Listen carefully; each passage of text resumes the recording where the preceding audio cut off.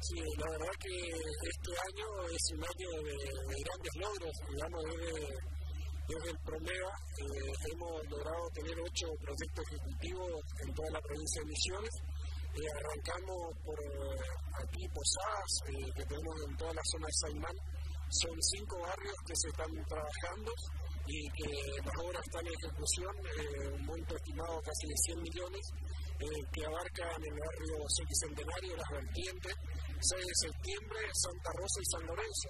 Más de 5.000 familias beneficiadas. Este programa de mejoramiento barrial comprende entre agua potable, luz eléctrica, eh, todo lo que sea las cloacas, el cordón cunete y empedrado. Eh, la verdad que es un programa que también tiene la bondad de que se le hace la mensura de la tierra y el título de propiedad a, cada, a cada persona que está radicada en esos barrios.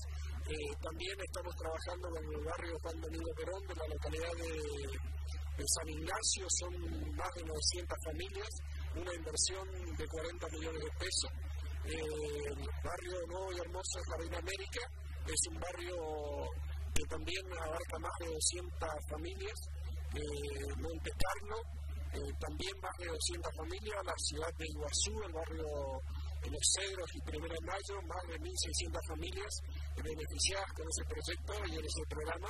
Eh, la localidad de San Pedro, eh, Ana Modas y Santa Rosa, los barrios, también más de 800 familias beneficiadas y eh, Aristóteles del Baño, el barrio Gran Samaritano, más de 200 familias, eh, que ya todo esto que estoy diciendo, la obra ya está en ejecución, está en un 60% el avance de la obra, así que bueno, creería que para septiembre, octubre estaríamos inaugurando esa obra. Sí, nosotros eh, articulamos con los intendentes eh, y según la necesidad de cada municipio, bueno, se avanza con los proyectos ejecutivos.